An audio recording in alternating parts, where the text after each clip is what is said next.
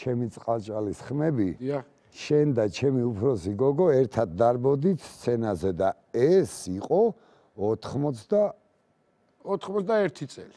80 2 ანა ეს. ხო 81 ან 2 სამი და ხელი ჩავარტყა.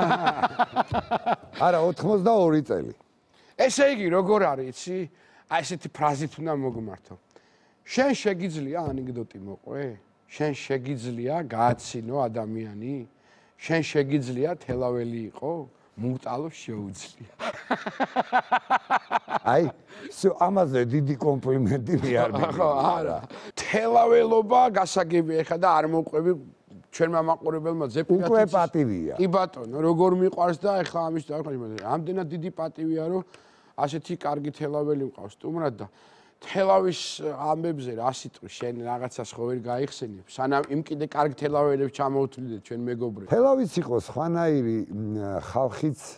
იცი რა იყო რაღაცა იყო რომ აი ძირძველი თელაველები როგორც აქ ძირძველი თბილისელები მაგრამ მე მაინც ვთვლი რომ ზუსტად იმ ძირძველ თელავში ვიღაცა რომ შემოვიდა იმან თავისი კვალი და ძალიან ბევრი ისეთი ბიჭი შემოვიდა, იმიტომ რომ ჩვენ შეგვიძლია ერთმანეთს დავაბრალოთ, რომ მე თელავში ყოველთვის ვამბობ თბილისში, რომ მე თელაველი ვარ, მოედნიდან, მებო.